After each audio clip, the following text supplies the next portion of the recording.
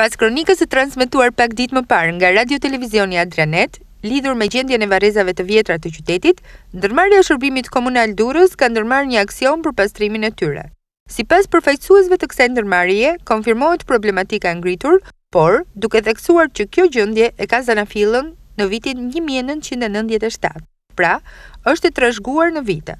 Duket se tashmë hapësirat e zëna me kangjella nuk e mundësojnë ndërhyrjen me mjete motorike.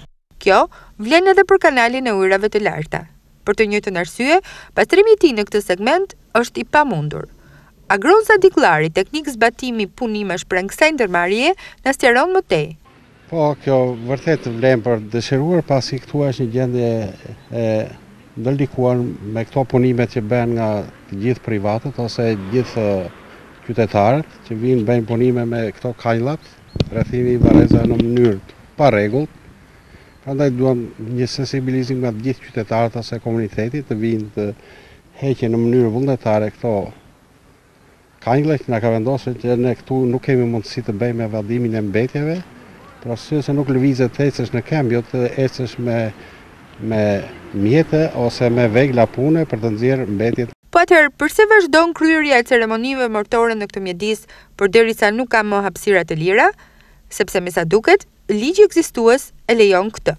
Ekziston ligji akoma që është në fuqi që këtu duhet të bëhet një ndërprerje nga ana e organeve kompetente për të bërë bllokimin e këtyre varrime që bëhen me thyerje ose që i bëjmë ne me këto rivarrime që bëhen varr mbi varr, sidomos kur kemi varrime në këtë situatë ne kemi shumë probleme. Pyetja që lind natyrshëm është, i kujt është faji?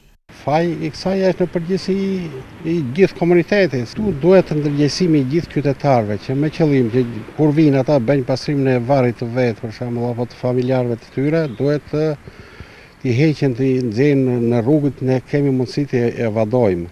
Mungesa e ligjit, fuqia e pamjaftueshme punëtore, mungesa e investimeve dhe papërgjegjshmëria qytetare bëjnë që varrezat e vjetra të jenë në këtë gjendje të mjerueshme. Banesa e fundit, për këdo, do duhej të ishte një vend i qetë dhe i pastër, por vetëm do duhej të ishte, sepse në të vërtetë nuk është.